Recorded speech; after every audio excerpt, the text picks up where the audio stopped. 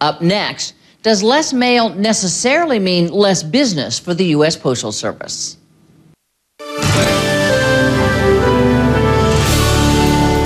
So, when you send off your seasonal good wishes this year, is it stamps or cyberspace, snail mail or email?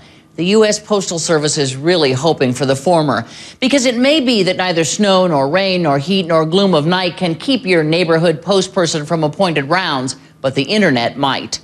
Tomorrow is the busiest mail day of the year. In all, letter carriers will deliver 3 billion cards and letters this holiday season.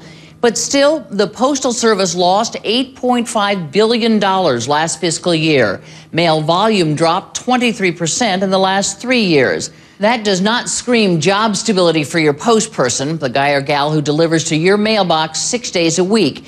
And with more than half a million employees, the USPS is the second largest civilian employer in the country after Walmart. Self funded and broke, the USPS is considering dropping Saturday mail delivery, a move strongly opposed by the Postal Workers Union. In this age of instant and constant communication, do we really need the postman? Up next, the president of the National Association of Letter Carriers, who says absolutely, and in ways you may not have thought about. Joining me now, Fred Rolando, president of the National Association of Letter Carriers. When we were getting ready to do this segment, uh, someone in our office, uh, Tracy Webb, said, You know what I think of when I think of the post office? I think of that scene in Miracle on 34th Street with Natalie Wood when they're trying to prove that Santa Claus exists, and all these postal workers come in carrying all the mail addressed to Santa Claus and pour it uh, into the court and say, see, the U.S. postal system thinks there is a Santa Claus, so therefore there is. Your Honor, every one of these letters is addressed to Santa Claus. And then I was looking online, another one of our uh, staffers uh, showed me a videotaped letter to Santa Claus. Um, I don't know what I want for Christmas. So get me anything you want, but not boy stuff. Um, that's the only thing I can say. So, dear Santa Claus, bye. My question here is, can the post office possibly survive the age of the internet? Oh, absolutely. What the Postal Service has to do is adapt to the change as a result of the internet. They've adapted to so many changes over the years. Uh, what you have here, if you take the mail out of the equation. You've got this incredible universal network for the American people, probably the only universal network that goes to every home and every business six days a week. The mail is changing. You're seeing less letter mail, you're seeing more parcel post as people shop online and so forth. We're seeing the Postal Service as the. Uh, but there's FedEx and there's uh, UPS, and there's places like that. Let me tell you that FedEx and, and UPS, uh, probably the fastest growing division in both of those companies, is the Postal Service delivering the last mile for them, taking their parcels door to door because it makes more sense for us to do it because we go to every house. They may go to every 50th house, every 100th house. So, in fact, uh, we're doing their last mile delivery, and that's a growing business for both of them.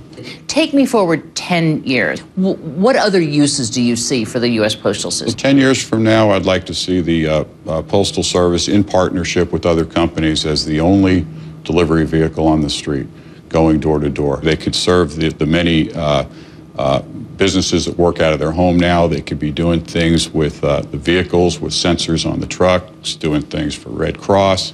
They could be like, uh, reading meters. Expand on that a little bit for me. The sensors on the truck. Uh, to look at, uh, they'd be the first ones on the scenes for uh, disasters and so forth, uh, uh, weather issues, because they're the first ones in. They're the only ones who can get into every neighborhood on a daily basis.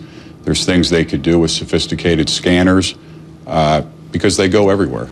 So if a tornado were coming and there happened to be a postman, which there probably is most Everywhere, times in, in right. nearly every community, it would be able to pick that up and send it back to an appropriate authority. Is some of that in use now? Uh, not yet. It's something we'd certainly like to start testing rather than the short sightedness of you know, cutting out a day of delivery. And there's kind of this pilot program going on that interests me about uh, delivering drugs and you know anti-anthrax drugs, for instance, in emergency. Tell me about that as a possible use. Yes, that's known as the City Readiness uh, Initiative. We do that in conjunction with Homeland Security, the city, and law enforcement. Uh, what happens there is the letter carriers are given the emergency medicines for themselves and their families, and should an emergency come, they would uh, deliver these medicines door to door uh, in the community. It's set up in advance. Can that relationship, and is that relationship being used? Is it more than just here's your mail? Very much. Letter carriers have uh, a very unique privilege of going to every neighborhood, being part of every community.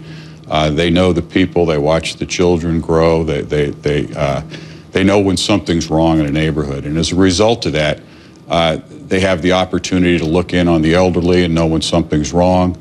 Uh, they, they're usually the first one on a scene. They're out there saving lives, stopping crime. Uh, they're just an integral part of every community, not because they're supermen, but because we're everywhere, every day, and we know our communities. We have that relationship. Fredric Rolando, thank you so much for being with us. Appreciate it. Thank you. Thanks for watching State of the Union. I'm Candy Crowley in Washington.